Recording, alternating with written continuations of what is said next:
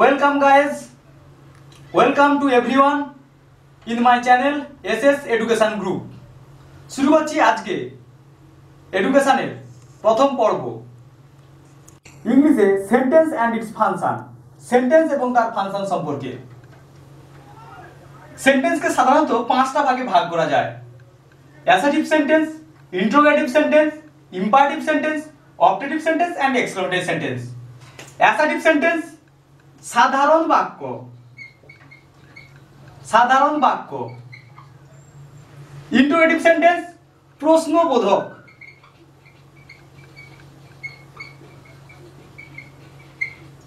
Imperative আদেশ উপদেশ অনুরোধ সূচক বাক্য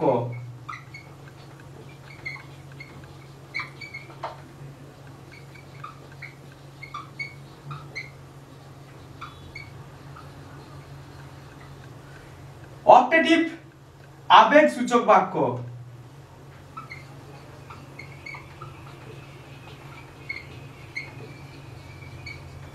এক্সক্লেমেটরি বিস্ময় সূচক বাক্য।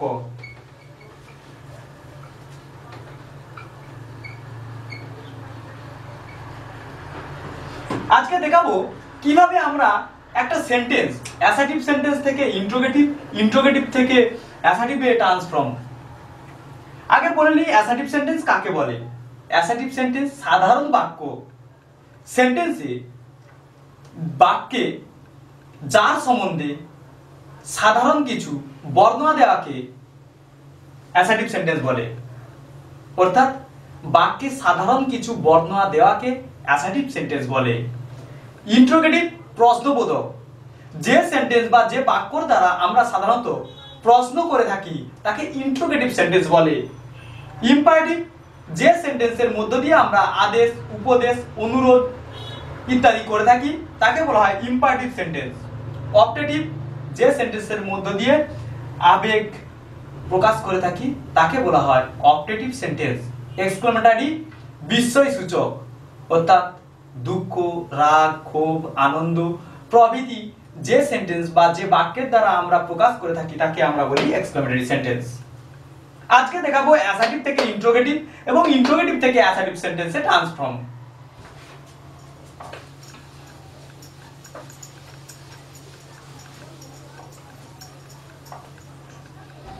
প্রথমে বলছি অ্যাসাটিভ সেন্টেন্স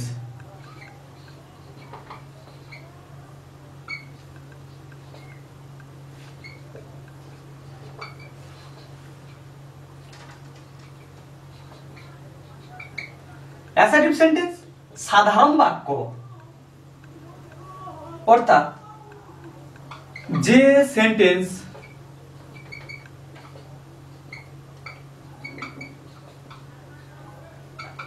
সেন্টেন্স এর মধ্য দিয়ে সাধারণ কিছু বর্ণনা করি, তাকে অ্যাসাটিভ সেন্টেন্স বলে। Example I am going to school এখানে একটা ট্রিক বা চালাকি আমি বুঝে দিই। এতটা কিছু মনে রাখতে হবে না অ্যাসাটিভ সেন্টেন্স কাকে বলে? যদি বাক্যের মধ্যে সামনে সাবজেক্ট পেছনে স্টপ থাকে তাহলে সেটা অ্যাসাটিভ সেন্টেন্স ইন্ট্রোগেটিভ সেন্টেন্স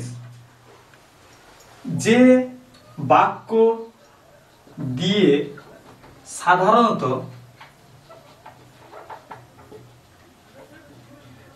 প্রশ্ন করে থাকি,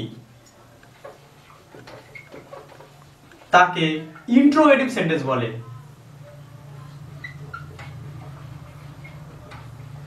ইন্ট্রোগেটিভ সেন্টেন্স সেন্টেন্স বলে। এই ইন্ট্রোগেটিভ সেন্টেন্সের গঠন। আমরা সাধারণত ডব্লিউএইচ ওয়ার্ড দিয়ে ইন্ট্রোগেটিভ সেন্টেন্স করি।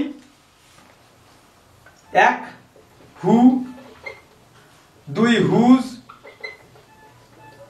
তিন হুম এরা প্রত্যেকেই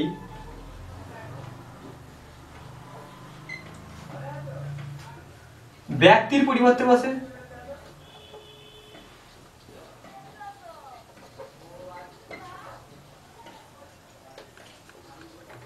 হুইচ দ্যাট এরা ব্যক্তি বস্তু ইতর প্রাণী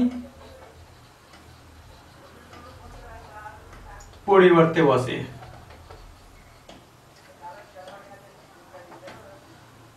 হুইচ আর দ্যাট মানে হচ্ছে যে যাহা যেটি। যে যাহা যেটি। ছ নম্বরে হোয়েন। সময়। সময় এর ক্ষেত্রে বসে। হোয়েন যখন বা কখন?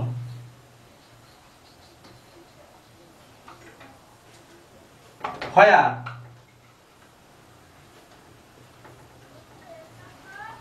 যেথায় বা কোথায়? স্থানের ক্ষেত্রে বসে।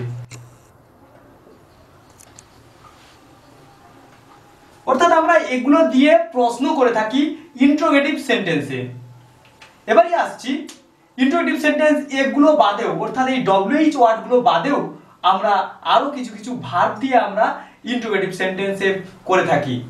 সেগুলোর দ্বারা, অর্থাৎ অক্সিলারি ভার্বের দ্বারা আমরা যে প্রশ্ন করে থাকি অক্সিলারি ভার্বগুলি দিয়ে যে প্রশ্ন করে থাকি, সেগুলোর দ্বারা কেবলমাত্র আমরা হ্যাঁ না, উত্তর পাওয়ার জন্য। অক্সিলারি ভার্বগুলি সম্পর্কে আমি বলছি। Auxiliary verb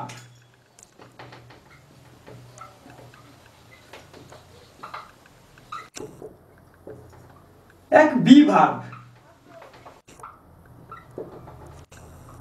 am is are was were have verb have has had auxiliary verb model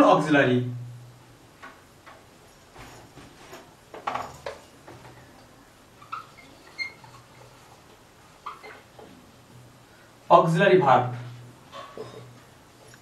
shall should can could may might will would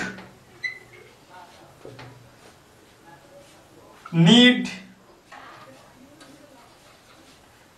must এবারে দেখে নিয়ে যাক এদের ব্যবহার।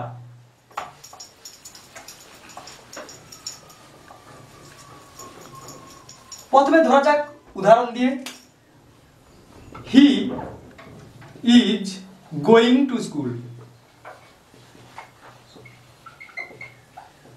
আমি আগেই বলেছি অ্যাসাটিভ সেন্টেন্স সাধারণ বাক্য, বুঝবার সব থেকে সহজ নিবন নিয়ম সামনে সাবজেক্ট পেছনে স্টপ অ্যাসাটিভ সেন্টেন্স তাহলে এটা কোন sentence assertive sentence assertive sentence থেকে ইন্ট্রোগেটিভ করার সময় be verb have verb auxiliary verb এবং ডু ভার্ব যদি থাকে, অর্থাৎ am is are was R have has had shall should can could might mind will would need must এবং do verb যদি থাকে, তখন সেগুলিকে সেন্টেন্স থেকে সাবজেক্টের আগে করে দিতে হবে।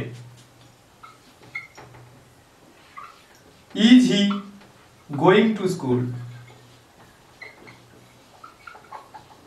বলে কোশ্চেন মার্ক ব্যাপারটা আরেকবার বুঝিয়ে দিই। He is going to school এটা সাবজেক্ট এটা একটা ভার্ব এটা একটা ভার্ব এটা সাহায্যকারী ক্রিয়া অক্সিলারি ভার্ব এটা প্রিন্সিপাল ভার্ব আমি প্রিন্সিপাল ভার্ব সম্পর্কে আমি আগেই বলেছি। এই অক্সিলারি ভার্ব যদি সেন্টেন্সের মধ্যে থাকে, অর্থাৎ এই জায়গাতে সাবজেক্টের পর যদি কোন রকমের auxiliary verb am is are was R have has had shall should can could might mind will would need মাস্ট এগুলোর মধ্যে যদি কোনো একটা থাকে, সেটাকে সাবজেক্টের আগে করে দিতে হবে। দিয়ে পেছনে কোশ্চেন মার্ক দিয়ে দিলেই interrogative sentence is he going to school interrogative sentence এটা ছিল rules number one rules number two rules number two he goes to school.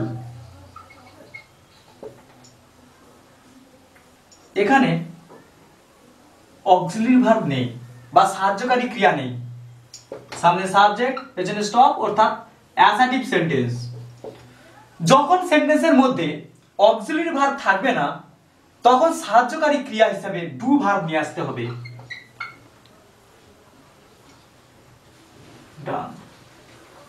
Do did done present form past form past participle form অর্থাৎ আমার করার নিয়ম অনুসারে do গঠিত verb নিয়ে আসতে হবে।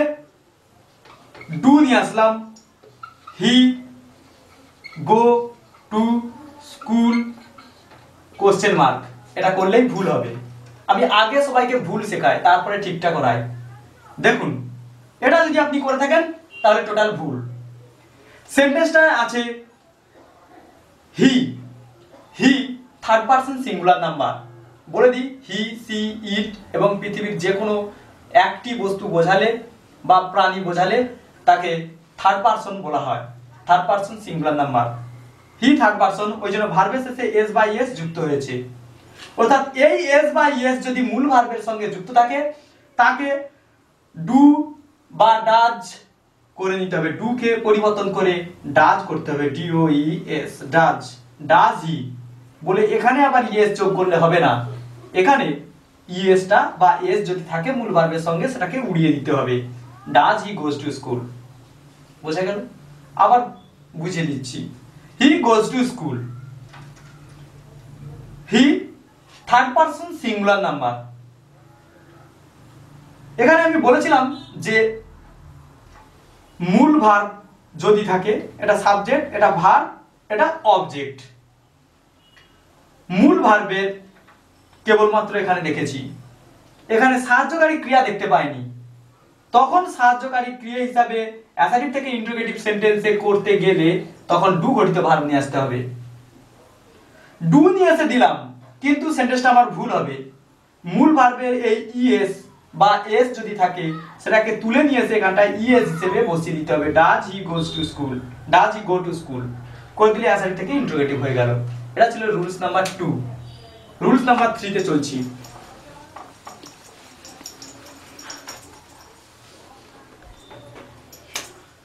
Rules number three he went to school assertive sentence আমরা আগেই শিখেছি, সামনে সাবজেক্ট পেছনে স্টপ অ্যাসাইটিভ সেন্টেন্স এটাকে যখন আমি অ্যাসাইটিভ থেকে ইন্ট্রোগেটিভে করতে যাব, তখন দেখুন কীভাবে কি হয়। এখানে ওয়েন্ড আছে। মূল ভার্ব আছে ওয়েন্ড অর্থাৎ ডু গঠিত ভার্ব নিয়ে আসতে হবে। আমি দেখেছিলাম ডু ডিড ডান অর্থাৎ, ডু ডিড ডানের মধ্যে যে কোনো একটা বসবে। এখানে আছে ডিড এটা আছে ওয়েন্ট অর্থাৎ এই সেন্টেন্সটা বুঝিয়ে দিচ্ছে, আমি পাস ফর্মে আছি। তাই জন্য আমাকে ডিড কথাটা আনতে হবে। ডিড তারপরে সাবজেক্ট হি কিন্তু এখানে এই ওয়েন্টটাকে আমাকে প্রেজেন্ট ফর্মে নিয়ে আসতে হবে। অর্থাৎ, বাক্যের মধ্যে মূল ভার্বটা যাই সেন্টেন্সে থাকুক না কেন, যদি অ্যাসাইটিভ থেকে ইন্ট্রোগেটিভ সেন্টেন্সে করতে যাই, তখন সাহায্যকারী ক্রিয়ে হিসেবে ডু নিয়ে আসতে হবে। এবং সে ফর্ম অনুসারে ডিড এখানে বসেছে। কিন্তু এখানে যে মূল ভার্ব আছে, সেই মূল ভার্বের প্রেজেন্ট ফর্ম এখানে বসাতেই হবে। ওয়েন্টের present form go to school school দিয়ে কোশ্চেন মার্ক এই হলো অ্যাসাইটিভ থেকে ইন্টারোগেটিভ সেন্টেন্সে করার নিয়ম। আশা করছি আপনাদের খুব ভালো লাগবে। ভালো লাগলে লাইক বাটনটা ক্লিক করবেন এবং বেল বাটনে ক্লিক করে সমস্ত ভিডিওর আপডেট আপনারা পেয়ে যাবেন। এবং সাবস্ক্রাইব করবেন আমার এই channel S S education group. নমস্কার।